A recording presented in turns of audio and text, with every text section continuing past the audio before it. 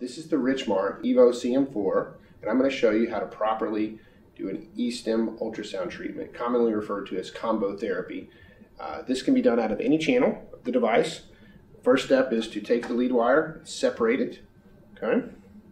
The electrode typically goes to the positive, which will go on the patient, and the negative will go in the back of the machine. Once the combo lead wire is connected, apply the electrode to the patient, apply gel to the patient.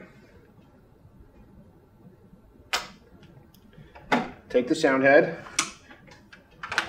This completes the circuit. At this point, you turn up the E-stim to a comfortable patient level. Hit start. And at this point, you would start your ultrasound treatment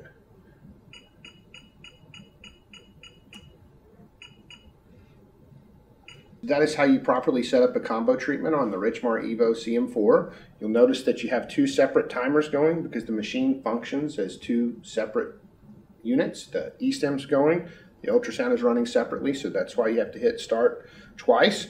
This treatment can also be done with our AutoSound applicator, the hands-free ultrasound applicator.